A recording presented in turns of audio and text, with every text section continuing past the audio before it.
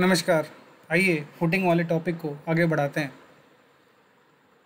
Combined footing में एक किस्म की और फुटिंग भी होती है, जिसे हम लोग कैंटिलीवर या स्ट्रैप फुटिंग कहते हैं।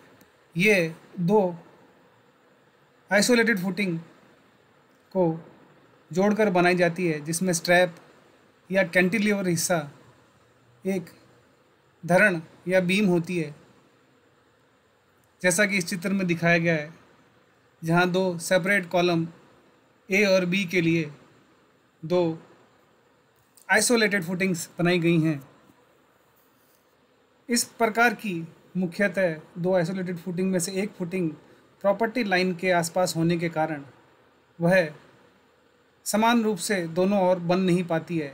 इसीलिए लोडिंग में एक तरह की इसेंट्रिसिटी रह जाती है और ऐसे में जैसा कि चित्र में दिखाया गया है फुटिंग ए जो पूरी तरीके से ढंग से नहीं बन पाई है, क्योंकि उसका आधा हिस्सा ही बन पाया है या आधे से कम हिस्सा ही बन पाया है। वह एक समान या यूनिफॉर्म रूप से नहीं बन पाई, जिसके कारण से उसमें लोडिंग में इसेंट्रिसिटी आ जाती है और उसमें एक बेंडिंग मोमेंट उत्पन्न होता है। अब इसको स्थिरता प्रदान करने के लिए आइसोलेटेड फुटिंग बी को एक से एक स्ट्रैप या बीम द्वारा जोड़ दिया जाता है ताकि ए में उत्पन्न बंकरण या बेंडिंग मोमेंट जो इसेंट्रिसिटी के कारण उत्पन्न हुआ है, वह बी में थोड़ा हस्तांतरित हो जाए तथा दोनों मिलकर के स्टेबल या संतुलित अवस्था में आ जाएँ। परिभाषा के अनुसार स्ट्रैप फुटिंग का इस्तेमाल इसेंट्रिसिटी इसेंट्रिकली लोडेड कॉलम को किसी इंटीरियर कॉलम के साथ में जोड़ने के लिए स्ट्रैप लगा करके बनाया जाता है ताकि इसेंट्रिसिटी का प्रभाव इंटीरियर कॉलम फुटिंग को हस्तांतरित हो सके और जिसकी वजह से मृदा पर लगने वाला दाब एक समान रूप से नीचे की ओर दोनों फुटिंग पर लगे। ऐसी अवस्था में स्ट्रैप फुटिंग का ही इस्तेमाल होता है रेक्टेंगल या ट्रेपोजल फुटिंग का नहीं, क्योंकि इस अवस्था में कई बार दूरियाँ ज़्यादा अधिक होती है और फुटिंग बनाएँगे तो उस अवस्था में खर्चा ज़्यादा आएगा। स्ट्रैप चूँकि कम चौड़ाई का बनता है, अतः खर्चा बचाने के लिए स्ट्रैप बना करके आसानी से मितव्ययी फाउंडेशन का या आधार का निर्माण किया जा सकता है। दोनों आधारों को जोड़ने वाला स्ट्रैप बीम बहुत ही रिजिड होता है और यह केवल उसका कार्य होता है दोनों आधारों के बीच में उत्पन्न इसेंट्रिसिटी के कारण बंकन को हस्तांतरित करें। वह अन्य कोई लोड नहीं लेता है, केवल बंकन या नम्न घूर्ण ही लेता है। स्ट्रैप फुटिंग बहुत ही रिजिड होता है, बहुत ही दृढ़ होता है। जिसकी शर्त यह है कि moment of inertia of strap footing बटे में मोमेंट ऑफ़ इनर्शिया ऑफ़ आधार या फुटिंग का अनुपात दुगना होता है। यानी स्ट्रैप का मोमेंट ऑफ़ इनर्शिया आधार के मोमेंट ऑफ़ इनर्शिया के दुगने से भी अधिक होता है। यह इसलिए आवश्यक है ताकि आधारों का रोटेशन को कंट्रोल किया जा सके। वह घूमे नहीं या उनमें किसी प्रकार का टॉर्शन या टिल्टिंग उत्पन्न ना हो। दूसरी शर्त यह होती है कि दोनों जिन आधारों को, जिन मृदाओं पर प्रेशर हस्तांतरित करना होता है, वहाँ पे एक समान लोड लगे। वो स्ट्रैप की सहायता से होता है और डिफरेंशियल सेटलमेंट होने की संभावना को यह चीज़ कंट्रोल करती है। अर्थात यदि बैठा होगा तो दोनों ही आधारों का समान होगा, ना कि अलग अलग तीसरी शर्त है स्ट्रैप ज़मीन के संपर्क में नहीं आता है। वह किसी भी प्रकार का सॉइल के साथ में कनेक्शन नहीं होने के कारण उसमें कोई सॉइल की वजह से रिएक्शन उत्पन्न नहीं होता है।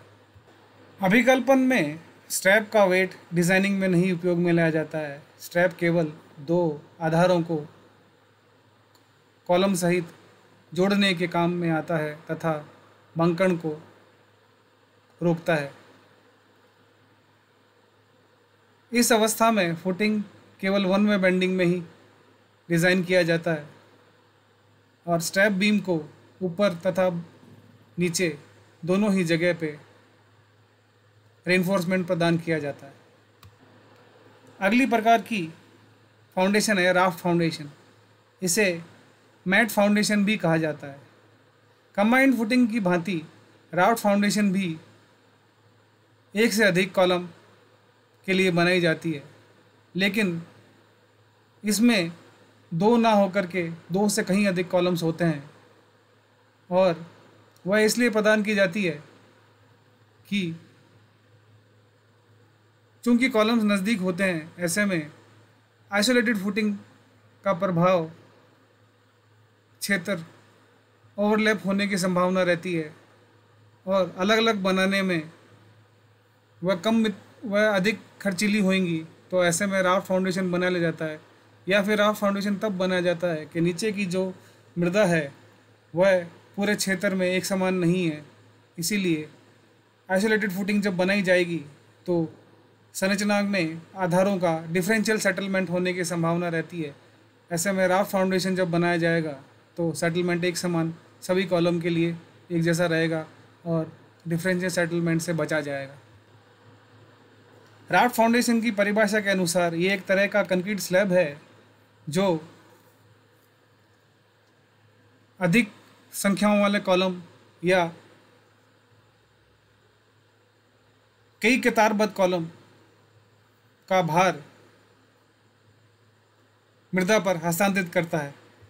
यह मुख्यतः इंडस्ट्रियल बिल्डिंग्स में इस्तेमाल में लिया जाता है, जहाँ कतारों में कॉलम्स लगे हुए होते हैं, या जहाँ पे चिमनी या टावर स्ट्रक्चर्स इत्यादि हों, वहाँ पे राफ्ट फाउंडेशन का बहु उपयोग देखा गया है।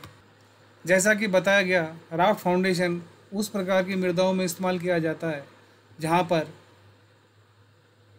आधार के नीचे वाली मृदा की बीरिंग कैपेसिटी कम होती है, ऐसी अवस्था में संरचना का भार अधिक एरिया में हस्तांतरित करने के लिए राफ का उपयोग किया जाता है। चूँकि आइसोलेटेड फुटिंग या स्प्रेड फुटिंग बनाएँगे तो हस्तांतरण का एरिया थोड़ा कम रह जाता है। ऐसे में राट फुटिंग में अलग अलग कॉलम की एरिया बढ़ जाती है। और चूँकि एरिया बढ़ जाता है तो मृदा पर लगने वाला प्रेशर भी बड़े एरिया में हस्तांतरित होने के कारण उसकी इंटेंसिटी कम हो जाती है। राफ्ट फाउंडेशन का एक और फ़ायदा है कि यदि ये ग्राउंड वाटर या भूम जल तल के नीचे भी बनता है तो भी ये एक वाटर बैरियर के भांति कार्य करता है और जल के प्रभाव या नुकसान को रोकने में समर्थ होता है। ये एक राफ्ट फाउंडेशन का लेआउट है, जहाँ पे देख सकते हैं कि ये कंक्रीट स्लैब के भांति व्यवहार करती है, जिसके ऊपर कई कॉलम अपना भार लगाते हैं।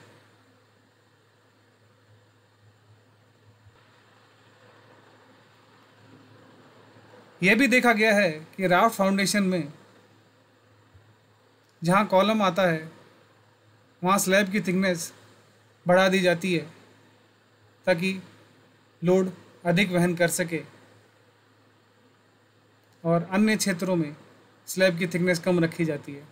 ये इस तरह का उपयोग मितवई सिद्ध हुआ है। कई बार इस तरीके से भी कॉलम के नीचे थिकनेस बढ़ा दी जाती है। ये भी मितवई सिद्ध हुआ है। विभिन्न तरह की राफ्ट फाउंडेशन भी पाई गई हैं। देख लीजिए। जैसे वेफल्स लैब